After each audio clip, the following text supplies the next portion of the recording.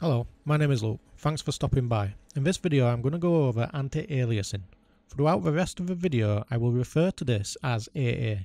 I will also try my best to call out any shortcuts I use and give any tips relevant to what I am doing in Aseprite. So to start off, we need to create a gradient between the background colour and the colour of the image you are applying the AA to. In this case, the background colour is red and the colour of my image is a light blue. To do this in Aseprite, we have two options. One is to use a gradient fill tool. This does have certain benefits on a more complicated image. When creating a gradient fill for AA, I do suggest that you create them on a separate layer. I'm going to skip the separate layer when I do this, as I will not be using this method here, but I will show you how it is done and explain all the benefits to it. Before we create a gradient fill, we need to select an area where we want it to be created. So take the rectangular marquee tool, which is the first tool right at the top of the toolbar. You can also use the default shortcut key for this tool, which is M, that is M for macaroni. Now we select an area for our gradient fill. Try to keep the size relevant to the gradient size you require. I want a gradient of 5, so I will try to select an area of around 5 pixels in height for this one. That is 1, 2, 3, 4, 5 in height, and we have our area. So let's go ahead and create a gradient using the gradient fill tool. You can select it on the toolbar by clicking on the water droplet. This is the fill tool. From the pop-out menu, select Gradient Tool. Alternatively, you can use the default keybind which is Alt-G. Before we add the gradient, we need to select the colours. The simplest way to do this is to hold down the Alt key and use the mouse buttons to select the colour. Left click to get the primary colour and right click to get the secondary colour. Now we use the gradient in the selected area. Just click and drag to create it. To keep it straight, hold down the shift key. Now we have a gradient, but what are the benefits to this method? Well, if you have a complex image that requires many gradients for different areas of AA, then using this method can keep your palette cleaner. Here is an example. As you can see, we have different areas that have different gradients for the AA in that section. If we add all these colours over here in the palette, it will get confusing, so keeping them on the image in a separate layer can be very helpful. The next method, which I will show you, is also the one I am going to use for this tutorial. I am going to use the palette to create a gradient. First I need to add the colours I am using to the palette. I do this by selecting my colours and clicking on the little exclamation mark next to the colour which you can find under the colour wheel. Once I have both my colours in the palette, I need to expand the size of the palette. To do this, I grab the two vertical lines next to the final colour. It looks a little bit like a pause button. I expand this out to give me room for the gradient. To create a gradient, we need to separate the two colours which we will be using. To do this, select a colour so that it has a yellow outline. Click and drag the yellow outline to create space between the two colours. Now, click and drag from one colour to the other. This will create a selection. Once you have the selection, click the little down arrow next to the padlock just above the palette. From the drop down menu, select Gradient. Now we have our gradient and we are ready to start with AA.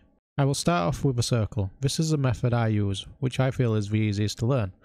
So first off, if a pixel ratio is 1, 1, which is 1 pixel across and 1 pixel up or down, which creates this diagonal line, which you can see here on the corner, if that is the ratio, then you don't need to apply AA there.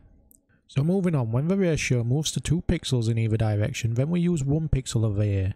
To do this, you take the middle colour of your chosen gradient and apply that pixel on the inside of your image's border.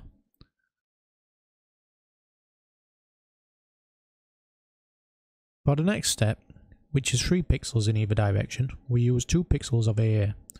On the outside of the border of your image, you want to use a colour from your gradient that is 75% the background and 25% the image. In this case, let's just say a colour closer to the background on the border and a colour closer to the image within its border.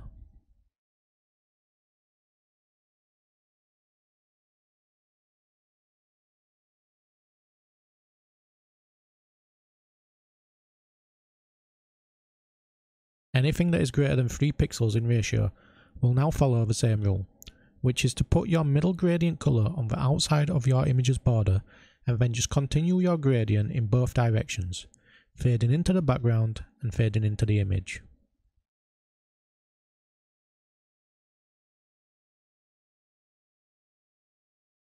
I will now speed this up just to finish off one side of the circle.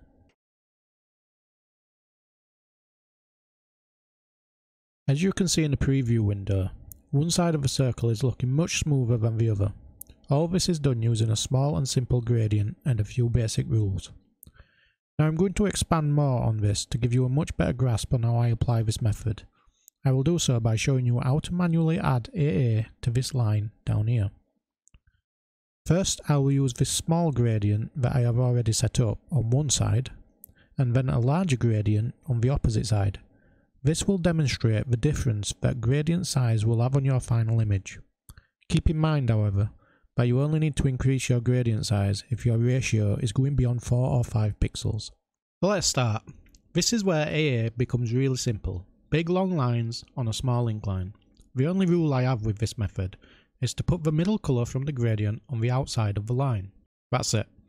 After which, you just fill in the gradient, fading into the line and fading into the background. Simple.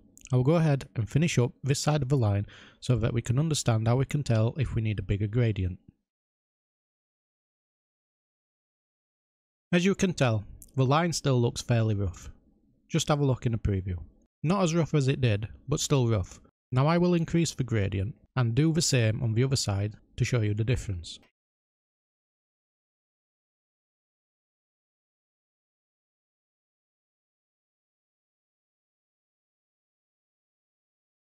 As you can see it is much smoother, even zoomed in by 1200%.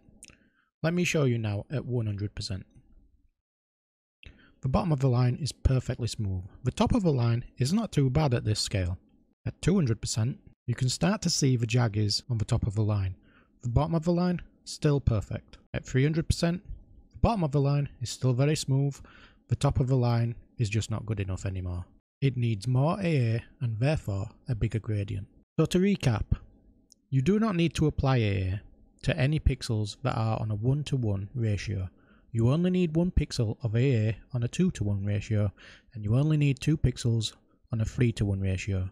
If you ever find yourself struggling, start with the method I used here, which is to take the middle gradient colour and put it on the very edge outside the image, and then complete the gradient fading into the image and into the background.